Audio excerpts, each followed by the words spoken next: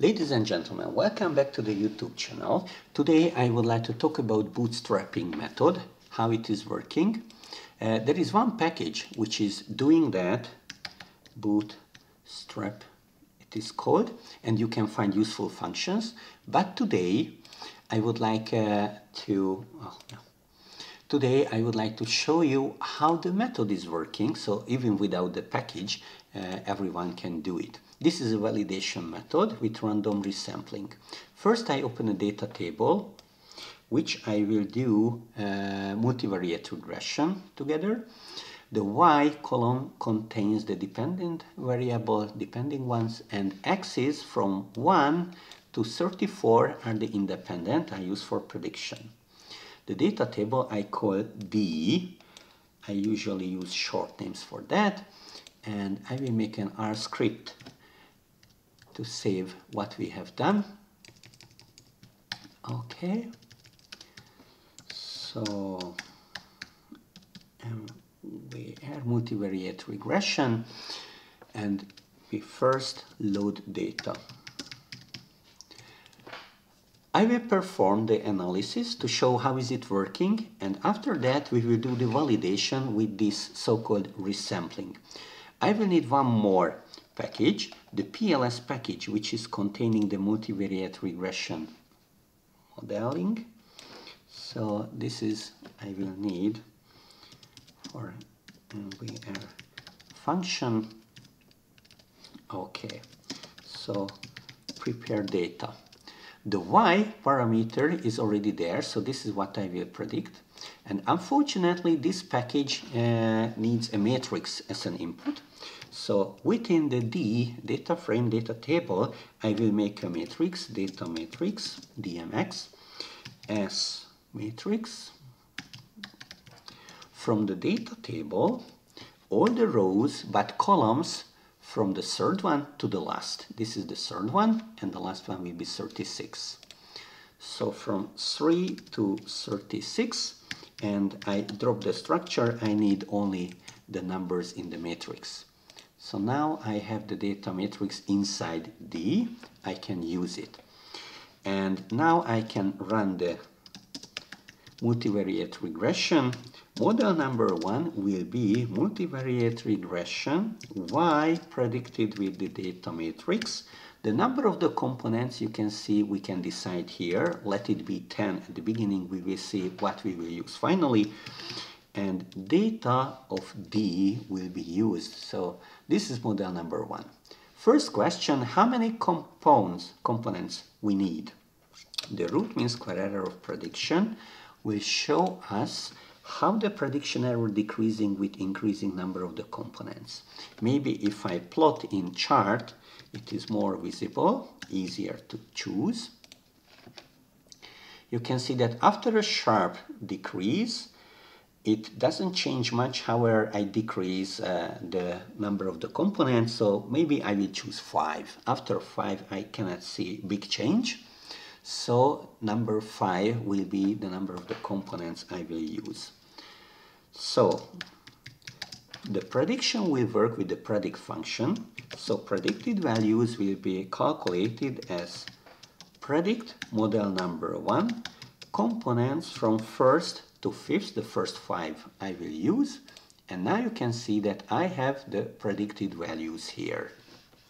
So this way I can uh, plot the data table y values against the predicted ones with blue color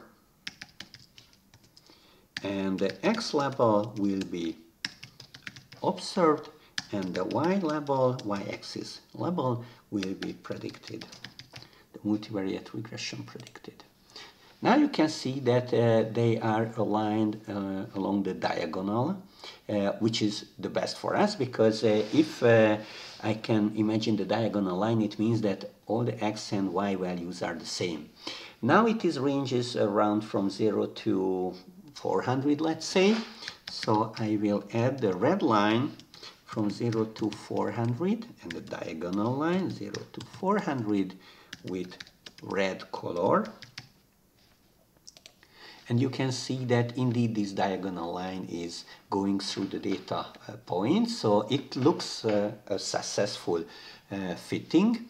The quality parameters I should calculate, for example, uh, the R squared value determination coefficient, the data table Y value against the predicted on the squared. You can see this is the R squared value.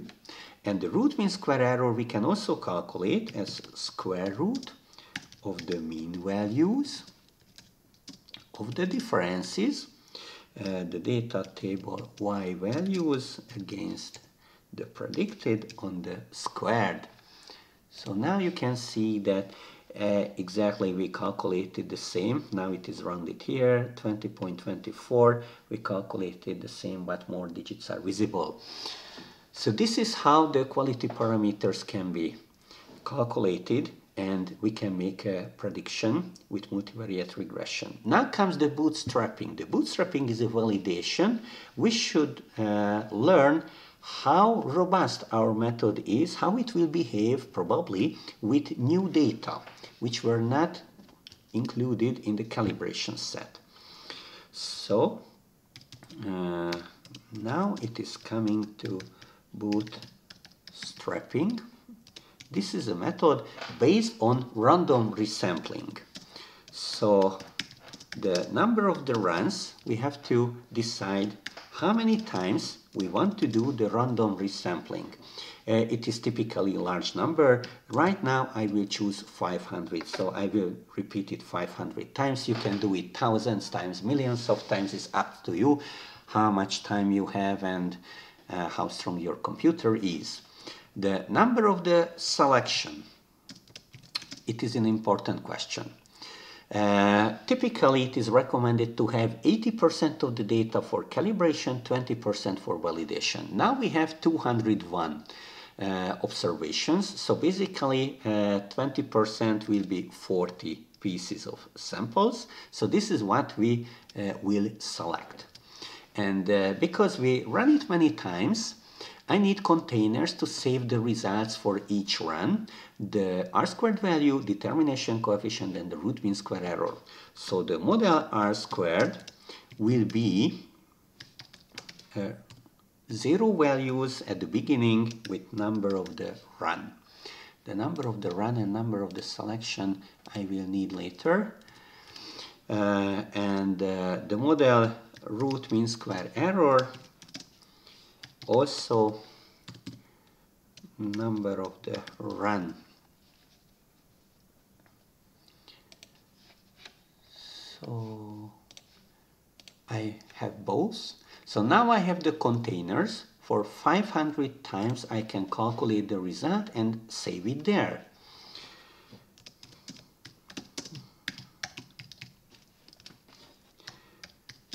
The fourth cycle I will use because I want to repeat it 500 times. An index number will be used from 1 to number of the runs. Oh, sorry, capital R I will use. And then I have to do what I did before, but separately for training and validation set. So I will separately, uh, I will separate the data table to calibration and validation. So the row selection will be sample from 1 to 201.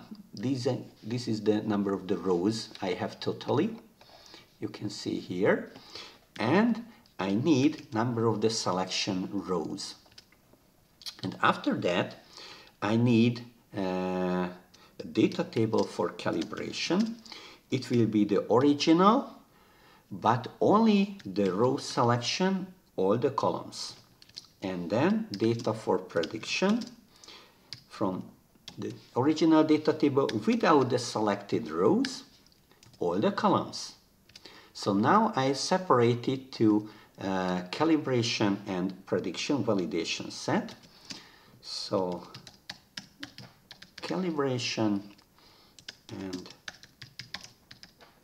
prediction or validation. Unfortunately, sometimes people call it prediction, sometimes validation. uh, but now we will use it for validation. Okay, run analysis. So the second model will be created as a multivariate regression model. The y values will be predicted using the data matrix with the number of five components because earlier I decided that 5 is enough, no need to calculate more. And the data will be the data for calibration. This is what I will use. But the predicted values will be calculated using the predict function from model number 2, components from first to fifth, and the new data will be the data used for prediction oh no, the, uh, yes, data for prediction. Uh, sorry, I mixed it, unfortunately. So the calibration uh, will be without the selected because we selected 20% of the data. And the prediction validation will be the selected 20%. Okay, so now it will work that way. So I use the predict function. Model number two will be run with five components together on the prediction validation data set. Okay, and now I can calculate uh, all the parameters. Uh, model root mean square error, uh, r squared value. First is index i will be correlation of what? Now we be very careful. The validation, the prediction we will use y against the calculated predicted values on the squared. Model root mean square error, root mean square error, also index element will be the square root mean value like before. The difference on the squared but what is the difference? Again the prediction data set y against the calculated prediction. And now I have it.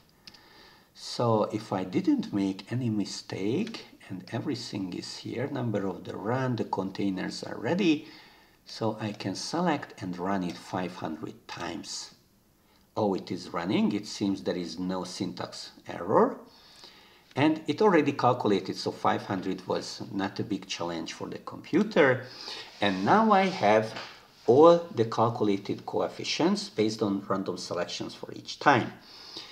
What we can do uh, we should summarize it. So basically the names of the parameters what we have calculated are the r uh, squared value and the root mean square error uh, of the prediction.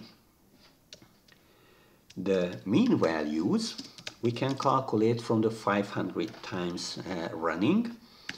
So the mean value will be the mean of the containers, the model root mean square, uh, uh, r squared value, and the mean for the model root mean square error sorry they are very similar. I made mistake. And now comes a tricky question. How to get for example a confidence interval? In what range? Uh, they could be because of the random selection there is some uncertainty. And in the hub there is a test called t-test. We can use for it because on one set, one data uh, set, one array, it will calculate also the confidence interval. Of course, it has two numbers, the lower and higher values.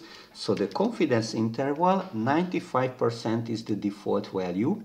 We can change if we want, but I will leave it as default. So 95% minimum will be, first I calculate the t-test on the r-squared values, and then we'll use the confidence interval and the first value. Then I copy this to apply on the other parameter, root mean square error as well.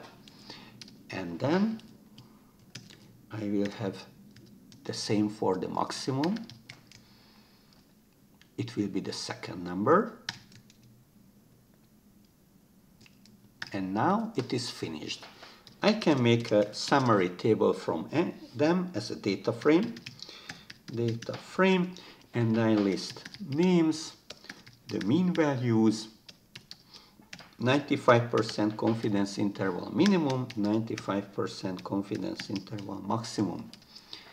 So, okay, if I run it, I didn't make any mistake by typing it. And then I have the table here. So you can see how it looks like. The R squared value is here. What is the average of the 500 repetitions? And what is the confidence interval for that? Also the root mean square error you can see and it is already the validated value, not uh, for the prediction using all the data. Only of always 80% of data we use for calibration and uh, 20% for validation. So this is already the result of validation. If you want, you can uh, plot histogram of it or you can decorate uh, this plot with uh, the numbers. It's up to you. But now you can see how basically the bootstrapping is working. We just selected the number of the runs. You can uh, change this parameter here. The number of the selected rows is here. I will add comment number of row selection. Our selection was 20% for validation. This how comes the 40 pieces and then the r squared value root mean square error containers we filled with zero we ran the analysis be very careful we randomly split the data to calibration and validation tables and we make the model on the calibration and do the prediction on the validation set and we calculate the uh, quality parameters on the validation, the so-called prediction set. Okay, so this is how the bootstrapping is working. Hope you will find it uh, useful and you can do it. Have fun with R.